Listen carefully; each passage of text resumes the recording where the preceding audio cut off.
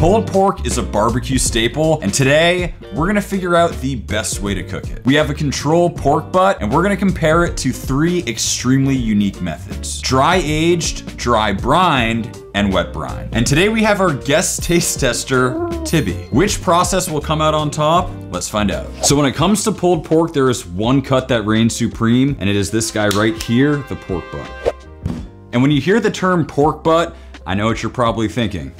We're cooking the butt of the pork. Turns out we're not. This here is the shoulder. This cut is also known as the Boston butt, and it's the top of the shoulder. Very different than a picnic shoulder, which is closer to the bottom of the shoulder. As you can see, this cut has tons and tons of marbling and intramuscular fat, which means it is a quite tough cut, but after cooking it low and slow, it becomes absolutely melt in your mouth tender. So you'll notice that these here are bone-in pork butts, and flipping them over, you can see it has that nice fat cap on top.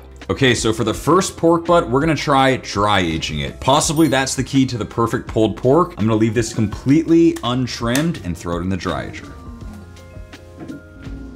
Okay, so pork butt number two, we're gonna be wet brining. So traditional brines are all liquid or wet brines in which we're turning salt into a salinated solution. Sometimes you can add other flavors, but I'm keeping this extremely simple with just salt and water.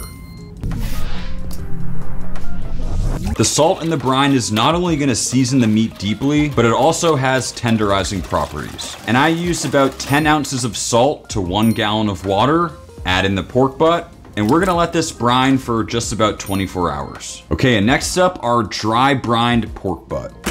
Now, one of the problems with wet brining is it tends to dilute the flavor of the meat with all that extra water, and that's where dry brining comes in. And really all we have to do is just season this pork butt with a whole bunch of salt. We get the same benefit of seasoning the meat deeply as well as tenderizing. However, in this case, we're gonna fully dry out that exterior, which typically helps us get a better crust and bark. And feel free to go heavy on a big cut like this. You can really take a bunch of salt. And we're just gonna get this on a rack and throw it in the fridge overnight to dry out. And just like that, through the power of movie magic, everything's ready to go. We have the 40 day dry aged, the 24 hour dry brined, the 24 hour liquid brined, and a regular fresh control. So the first thing we need to do is tackle this dry aged one by removing that outer pellicle. So as you can see, it's developed a tough outer layer, but it pretty much has zero smell whatsoever and still seems fresh. Okay, so like all of our dry ages, now we need to remove this outer pellicle and we're just gonna start slicing it up. Dry aging pork is a lot less common than beef, however it works the exact same way. Over the course of several weeks, the meat tenderizes and the flavor concentrates. I also noticed that the pellicle on pork seems to be a lot less dark than with beef. Okay guys, just check out this front part here. The marbling on that almost looks like prosciutto. Prosciutto? Prosciutto? Prosciutto? Prosciutto prosciutto. But this muscle here is actually called the money muscle. It is easily the best part of a pork butt, and I mean, just check that thing out. Mm. So at this point, we've removed the entirety of the pellicle. Now I'm just gonna make some slices on the fat cap. And this is just to help those seasonings penetrate. I added a thin oil binder, then seasoned with some kosher salt on all sides. No need to be shy with the seasoning, it's a really big cut.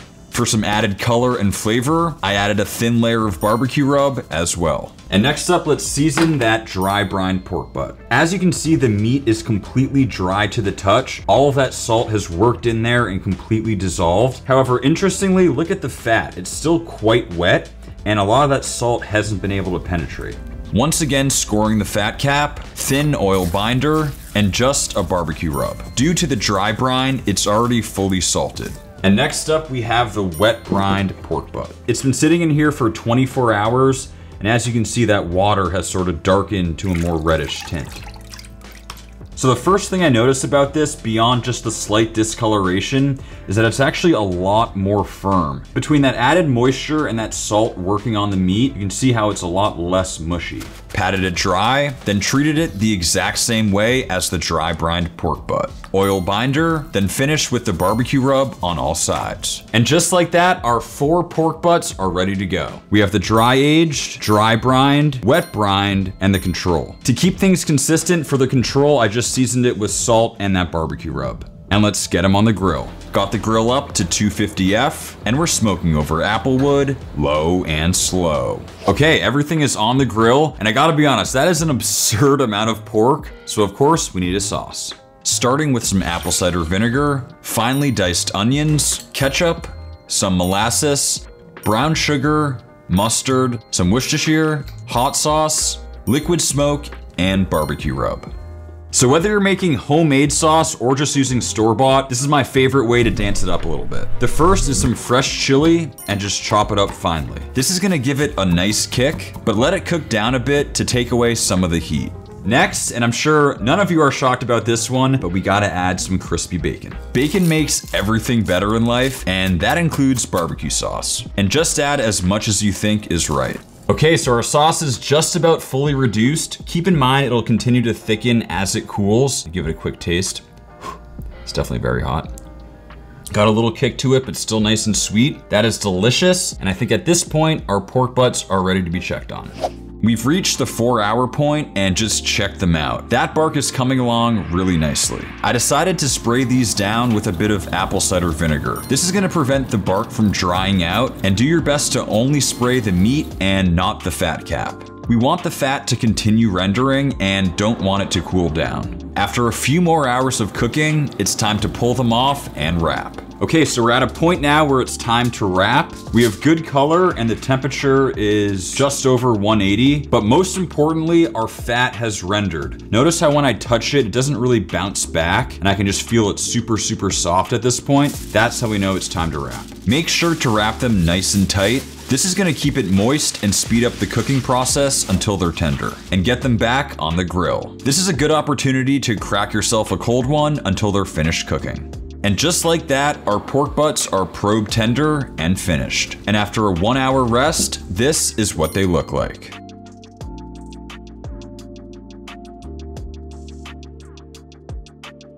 Okay, so what I noticed is that visually they actually all look very similar. Maybe the dry aged dry brined and wet brined have a slightly darker bark. Let's pull them. Starting with the control pork butt. Notice how that bone comes out cleanly, a sign that the pork butt is fully cooked. And I'll shut up for a second and allow you guys to just watch the most fun part of cooking pulled pork.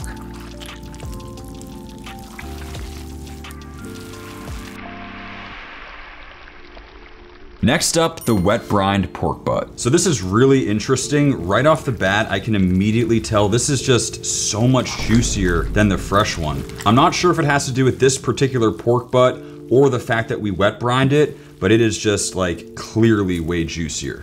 Up next, the dry brined pork butt. You can see how it has a really nice smoke ring, but once again, this one felt significantly juicier than the control pork butt and still very tender. Lastly, the dry aged pork butt. Now I was sort of expecting this one to be really dry due to the dry aging process, but I noticed that it still felt extremely juicy. This one was just falling apart and it pretty much took zero effort to pull the whole thing. And just like that, it was time to eat. Gonna go out on a limb here and say I think we cooked enough pulled pork for dinner. This should be sufficient. But we have the dry aged, the dry brined, the wet brined, the control, and our bacon barbecue sauce. Because we're healthy. Starting with the control. Pretty good, I'd say that's relatively standard pulled pork. Honestly, a little dry, but not terrible. Next up, the wet brine. This one is significantly more juicy. I mean, visually, I could already tell that. The flavor is also a bit better, more of a salty punch to it. And next up, the dry brined. I'd say overall, the flavor of this one's a little bit better than the wet brined, slightly less juicy, but comparable. Last up, the dry aged pulled pork. First time ever trying dry aged pulled pork.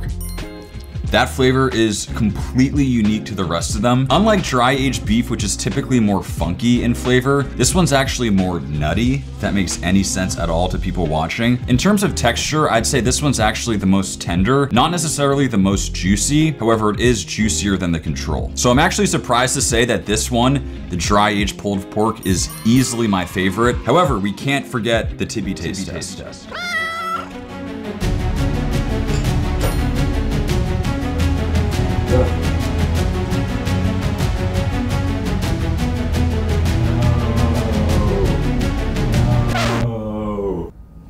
Give it chance. All right, well, unfortunately, got to take the L on this uh. one. I'll see you next time. I guess the verdict is he doesn't like any of them.